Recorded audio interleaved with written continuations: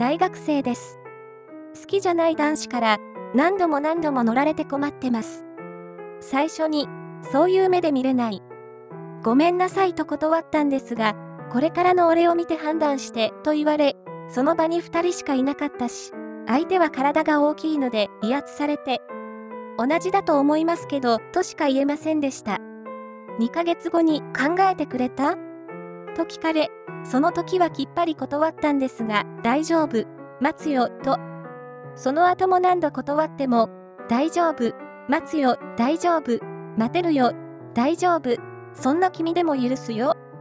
何が大丈夫なのかわかりません。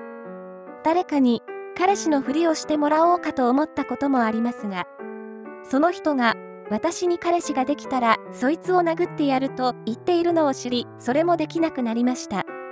今のところストーカー行為とかはなく、家の周りをうろうろとかそういった事例はないのですが、何度も何度も乗られてノイローゼになりそうです。好きになれないです。ごめんなさい。無理です。諦めてくださいと、毎回きっぱり言ってます。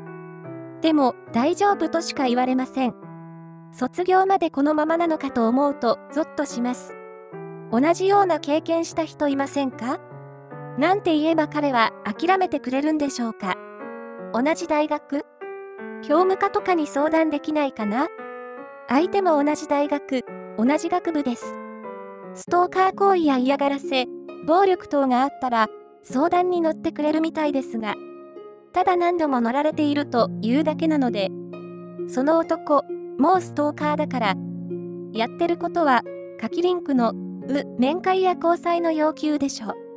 ありがとうございます。ストーカー規制法第2条第1項第3号。面会、交際その他の義務のないことを行うことを要求することこれに該当しますね。プリントして、厚生センターの相談室に持参します。ありがとうございました。私に彼氏ができたら、そいつを殴ってやるわ。身体への害悪告知で普通に脅迫なんだけども。できるなら、録音と身を守る準備を整えて、好きな人がいるって言ったら証拠が取れるかもだけど、ちょっと危険だよね。今の状況でも一度相談してみることをお勧めします。親にも相談しといた方がいいよ。